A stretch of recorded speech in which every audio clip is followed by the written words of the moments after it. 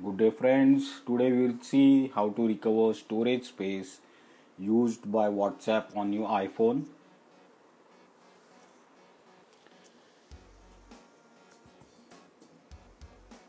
Now to begin go to settings then go to general then usage and manage storage uh, here you can see total space used by each app. So as you can see whatsapp is uh, at the top using 489 428 mb is the documents data. And 62 mb approx is the app size. So we need to reduce that 428 to something much less. Now go to whatsapp.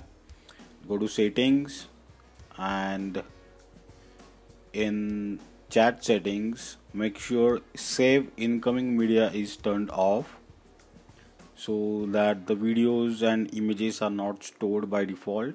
Also you can go to auto download settings and make sure you're not downloading anything on whatsapp uh, uh sorry on wi-fi and cellular. So this will save you a lot of bandwidth and space now go to chat settings and find out all those group conversations. Uh, swipe right and click on more and clear chat.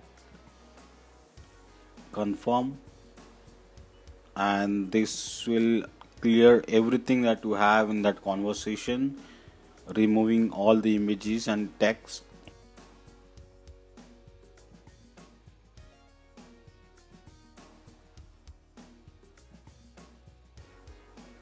so just look at all those uh, group conversations uh, you think you know the where more of forward stuff is going on and a lot of images are shared?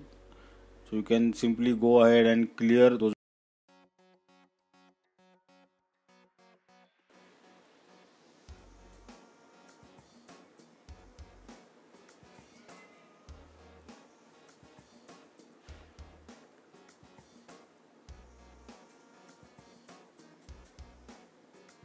can also clear personal conversations where you think you know more important information is not shared.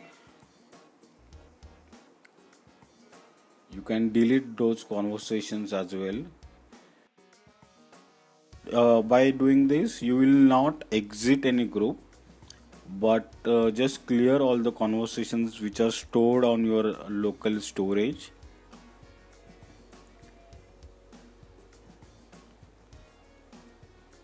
keep clearing this. Uh, now let's go ahead and see how much we recovered. Go to usage and storage. And uh, you can see uh, whatsapp is now using only 241 MB so we recovered about 200 MB of data. Enjoy guys and uh, see you in the next video